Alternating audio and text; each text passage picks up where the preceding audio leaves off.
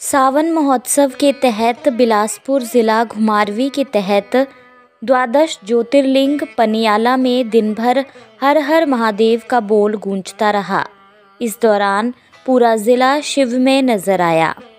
सुबह से ही मंदिर में भगवान भोलेनाथ का दूध, दही, शहद, गंगाजल, चंदन से अभिषेक किया गया।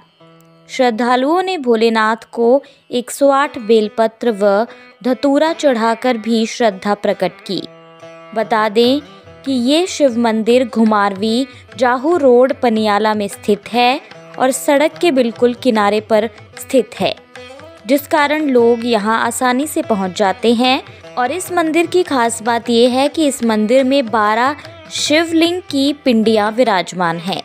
जिस कारण लोगों की श्रद्धा यहाँ बहुत ज़्यादा है।